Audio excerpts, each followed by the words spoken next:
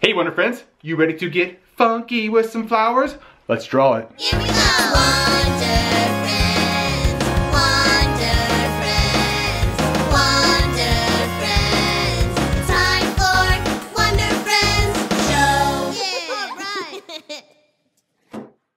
Friends, today we are going to draw some funky flowers. Funky flowers mean that they do a funky little dance. That's what our flowers are going to do, and we're going to keep these very simple, but I want you to know that you can change the top of this flower into any kind of flower you want. We're just going to use this to create a base character that you can change the top. So as we're drawing this, if you want to change the top, feel free to change the top. I want to remind you of two things. Number one, you're going to draw different than me, and that's okay.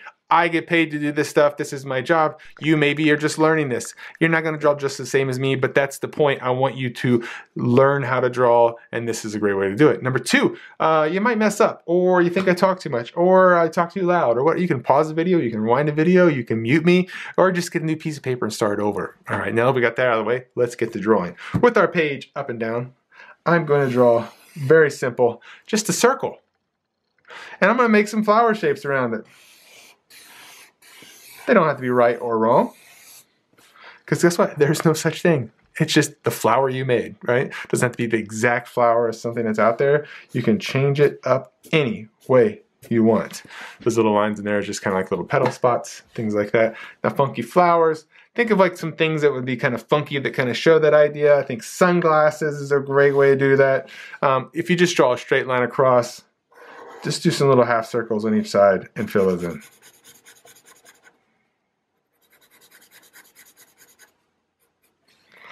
Now we have some cool, hey man, I'm a cool flower. I got glasses on, I got sunglasses, I'm cool. And we're gonna draw a smile, because I mean, I don't dance. I mean, I do, if you wanna call what I do dancing, but it's not. It's more like I flail around, my arms just go all over and it, it looks like, it looks like I'm in pain, but really I'm trying to dance. I just don't know how. Uh, and I'm gonna put some eyebrows up on top just for kicks. And then now we want to use that body to, to sell the language that he it's dancing.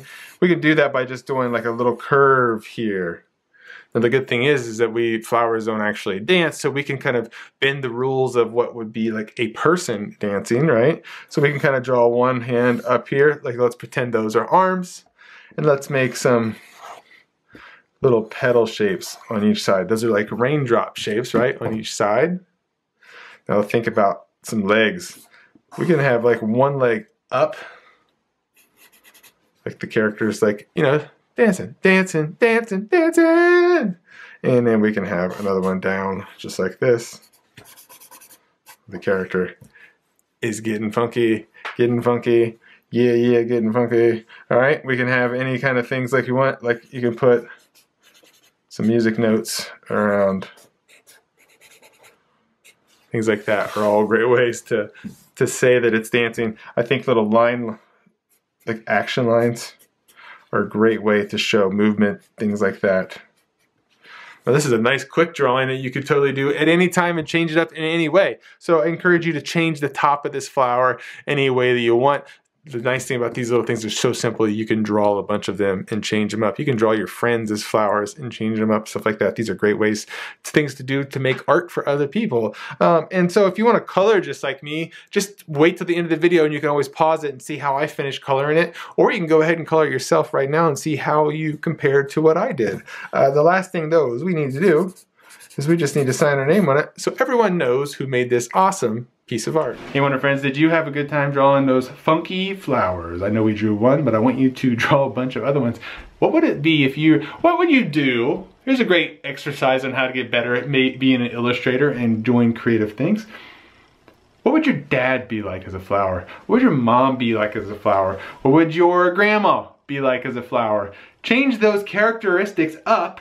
Maybe your dad has a big bushy beard or a big mustache. Draw that on the flower. Draw him as a flower. Dancing, getting funky. I can't dance, but you know, I can move my arms and it may look like I'm dancing, but really I'm just standing still. But see, I've, uh, I've mastered the art of dad dancing. That's called dad dancing, where you put your fingers up and it's pew, pew, pew, pew. That's, that's how dads dance and that's how I dance and it's not good. and that's okay. I have fun doing it, so whatever. All right, guys, speaking of fun, I want you to check out the next video that's coming up. We're guaranteed to learn how to draw something that you may not think you can right now, but with a little bit of help and some practice from you, guarantee that you will master it. Hey Wonder Friends, I would love to see the art you create and feature it on one of my videos. With the help of an adult, take a photo of your finished art and post it on Instagram, Facebook, or Twitter. Don't forget to tag me so I can find it. Hey, are you looking for a signed copy of one of my books? Check out my website, wondervillestudios.com for books, t-shirts, mugs, and more. I also do loads of school visits and would love to hear from you about scheduling a visit. Be sure to subscribe to my channel and check out all the other fun drawing lessons. Until I see you, be the weird you want to see in the world. See ya!